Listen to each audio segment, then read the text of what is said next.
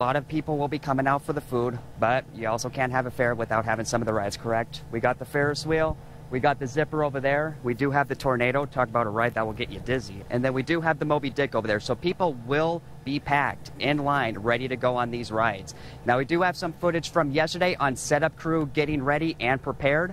Now, setup crew worked extremely hard at getting everything all geared up.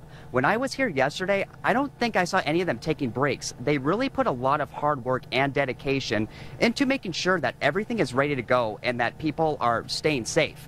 Now, however, that also means making sure the public is staying safe. Guys, I know it sounds like common sense, but accidents do happen, and these rights are not for everybody. So do make sure you put safety first and be aware of your surroundings. If you have kids, make sure to keep an eye out on them. Now, I did talk to one guy setting up and asked his advice on how to stay safe. Here's what he said.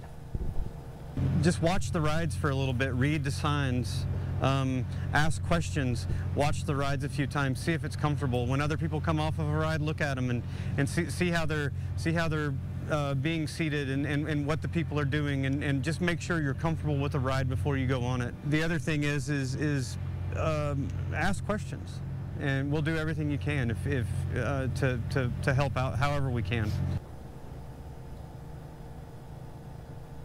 And above all, just make sure to have fun. Again, the fair opens today from noon to midnight. If you can't make it, you still have until August 6th, and we will continue our coverage of the fair tonight and into next week.